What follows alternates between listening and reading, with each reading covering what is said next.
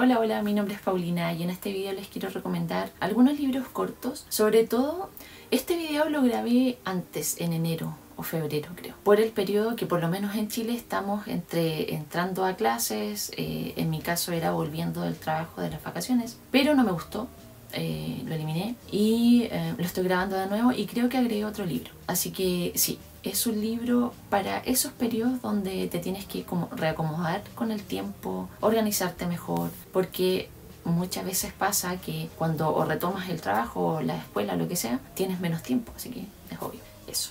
Antes de comenzar necesito aclarar algo y es que mi memoria es un asco, así que estos libros los leí hace tiempo, pero yo soy muy de sensaciones, entonces si bien puede que no recuerde totalmente todo, me queda la sensación de que sí me gustaron, por eso los recomiendo y por eso los tengo aquí. El primer libro es Pájaro de Medianoche de Alice Hoffman. Este libro me encantó, recuerdo, porque es muy cozy, es una historia como de, no sé, en un margen de 12 años por ahí y es muy tierno, me gustó, es súper cortito, tiene... Ah, rayos, no es tan corto, 190 páginas, pero, o sea, es pequeño, es pequeño, se hace muy corto. A todo esto, los libros que voy a comentar son de menos de 200 páginas. Y, ok, este libro va de Twig quien vive en Sidwell, un pueblo donde la gente cree en la magia, en los cuentos de hadas y en los monstruos. Y un monstruo es precisamente lo que se sospecha que habita en el lugar. Hace 200 años que la familia de Twig soporta la maldición de una bruja. Ahora ella quiere romperla, pero deberá esperar al verano cuando aparezca la próxima luna roja. Dice que, ok, Únete a esta aventura de amistad y magia, pasteles de manzana y hombres alados. Es hora de romper la maldición. Es súper tierno. Recuerdo que me gustó mucho la protagonista, Twig, porque es una niña como súper entrañable. Es una lectura que tú puedes tener fácil en un día o dos y no es algo como muy que te sature. De verdad que eh, el recuerdo que tengo es que me dio mucha ternura. Y es una buena historia también, es entretenida. Primer libro que les recomiendo. El siguiente libro es el año del pensamiento mágico de Joan Didion. Este libro tiene 189 páginas por ahí. Y lo leí recuerdo que el año pasado o antepasado por un club de lectura que tenía. Este me gustó bastante por... la autora te cuenta algo muy personal. De hecho, voy a leer la, la contratapa. Este libro memorable ha cautivado millones de lectores en todo el mundo. En él, la escritora Joan Didion, una de las autoras norteamericanas más reputadas de finales del siglo XX, narra con una fascinante distancia emocional, ojo con eso, eh, la muerte repentina de su marido, el también escritor John Gregory Dunn. Este libro, tan breve como intenso, es, por consiguiente, una reflexión sobre el duelo y la crónica de una supervivencia. Este libro obtuvo el National Book Award en 2005. Eso de, mm, de distancia emocional es algo que sí, tú lo notas inmediatamente. Y también porque habla de duelo.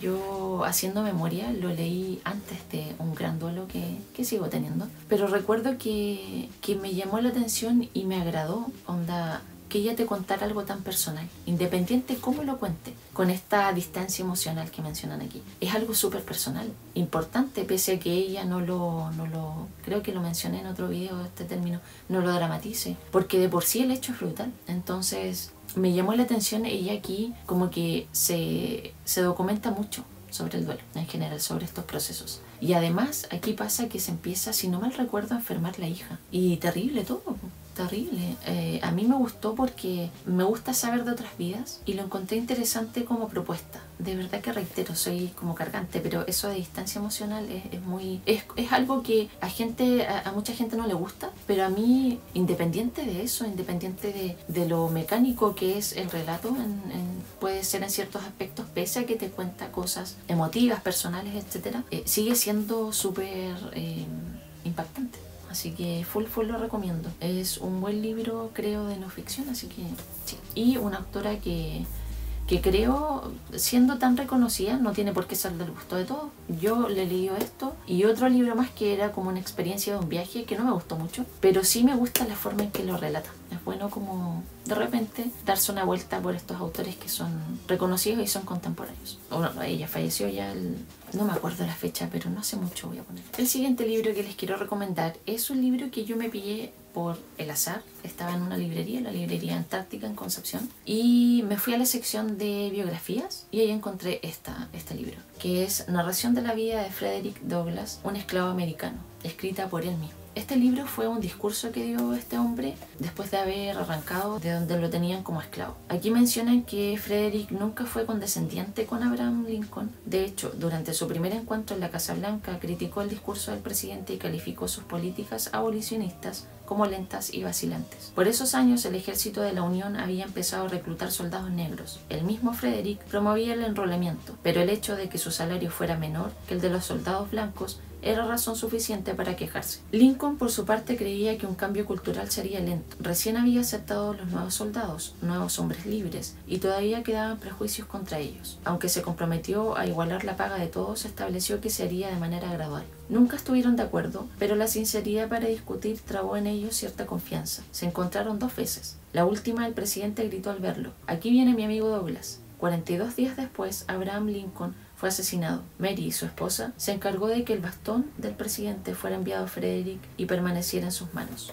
Este es un relato que tiene, a ver, un prefacio de un hombre que asistió a, ese, creo que primer discurso, que era Lloyd Garrison y lo escribió en mayo de 1845. Obviamente aquí relata su vivencia como, como esclavo. Eh, no recuerdo ya Sí, y me van a perdonar, pero... Ah, ok, sí, alcanza a comentar cuando él se escapa. Pero recuerdo que este libro, una, lo leí súper rápido, me interesó mucho el tema y me interesó que fuese su narración, onda, es su discurso, su experiencia. Y fue lo recomiendo, tiene 145 páginas. Si les interesan estos temas, creo que es un libro súper, súper rescatable. Yo no lo había visto de nada y cuando lo busqué, onda, después de comprarlo, como para saber un poco más, confirmar, en ese tiempo, porque lo leí hace un buen rato ya. Creo que hace más de un año. Mi memoria no aguanta tanto.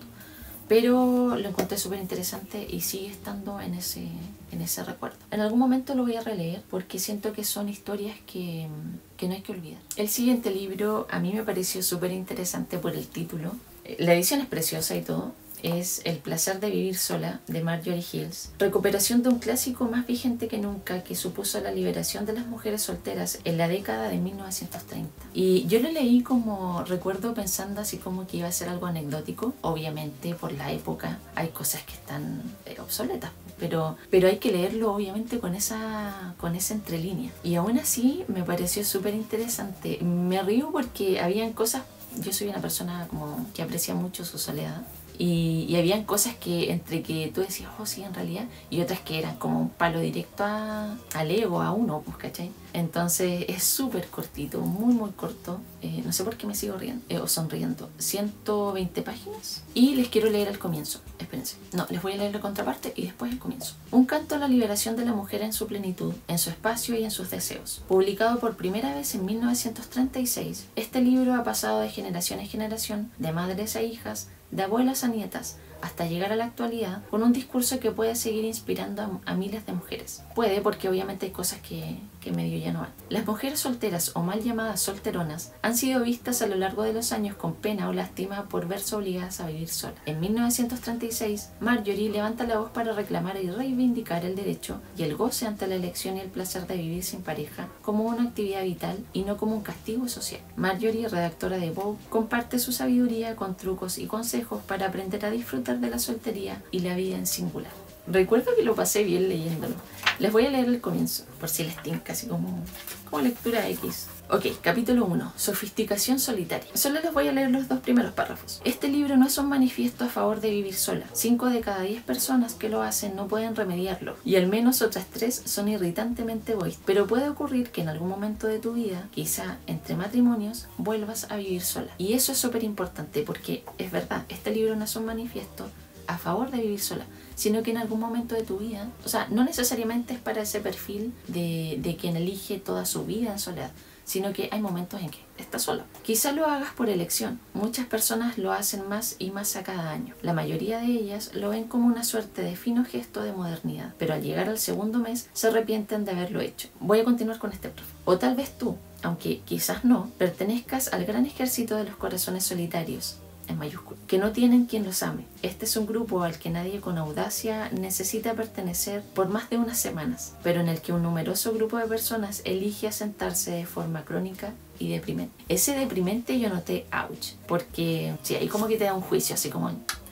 Pero bueno, Full lo recomiendo. Por último, como lectura anecdótica, porque es la visión de alguien en estos años. Y es súper, súper interesante. Porque hay cosas que sí, no recuerdo cuáles, pero recuerdo que me quedó esa, esa idea de que hay cosas que siguen vigentes, obviamente. Así que sí, full- no me quitaba la sonrisa de la cara porque hasta el color es bonito.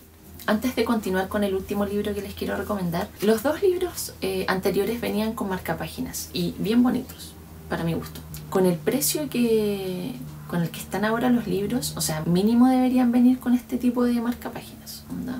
Ok, el último libro que les quiero recomendar y que tiene como 180 80 páginas es Hiroshima de John Hersey, que este es una, una crónica que este periodista hizo después de las bombas atómicas, obviamente, en Hiroshima. Les voy a leer un poco como del autor. John Hersey nació en Tianjin, China, en 1914, donde vivió hasta 1925, año en que su familia regresó a Estados Unidos. Estudió en Yale y más tarde completó sus estudios en Cambridge. En el otoño de 1937 se incorporó a la revista Time, para la que trabajó como corresponsal en el Frente del Pacífico durante la Segunda Guerra Mundial. En 1945 ganó el premio Pulitzer por su primera novela, La Campana de la Libertad, sobre la ocupación militar estadounidense en una pequeña localidad italiana. Tras publicar Hiroshima en la revista The New Yorker, se convirtió en un crítico acérrimo de las armas nucleares. Su segunda novela, La Pared, una minuciosa investigación histórica sobre la destrucción nazi del gueto de Varsovia se publicó en 1950. A esta siguieron otras novelas como El Junco y el Río, Mi petición de más espacio o Demasiado lejos para ir andando. Murió el 24 de marzo de 1993 en su casa en Key West. Un obituario publicado en The New Yorker afirmaba que es posible que Hiroshima haya sido, abro comillas, el más famoso artículo de revista jamás publicado, cierro comillas. Este libro sigue... em, o sea, esta crónica sigue la historia de, de seis personas y es crudísimo. Yo recuerdo que cuando lo estaba leyendo, un par de hojas lo leí en un bus, o sea, de mi trabajo camino a casa y bueno, estaba llorando.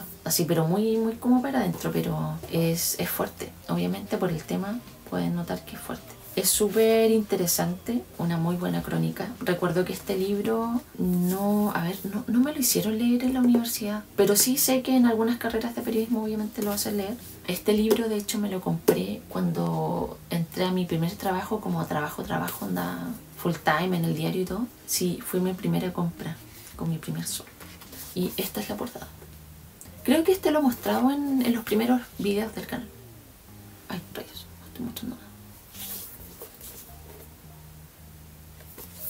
Pero sí, es súper impactante. Para que tengan ojo con eso. Y con esto termino los libros que les quería recomendar, los libros cortos, para que los tengan en mente si quieren en esos tiempos donde eh, la vida, el trabajo, los estudios te, te quitan un tiempo valioso para leer algo como más, más largo, más no más complicado, porque aquí hay varios libros como con temas complicados, pero al ser cortos se hacen, se hacen llevaderos en cuanto a, al periodo de lectura. Y en cuanto a temas, siento que son igual interesantes. Si quieren también en los comentarios me pueden dejar sus recomendaciones de libros cortos, como para mí, como para cualquiera que pueda ver este video. Y eso, muchas gracias por llegar hasta aquí. Mis redes sociales, en general, bueno, están abajo. Siempre dejo mi Goodreads, Instagram, que está aquí, y el Instagram del club de lectura que tengo con Connie, con Books en Instagram. Así que eso, muchas gracias por llegar hasta aquí. Nos vemos en un siguiente video. Chao.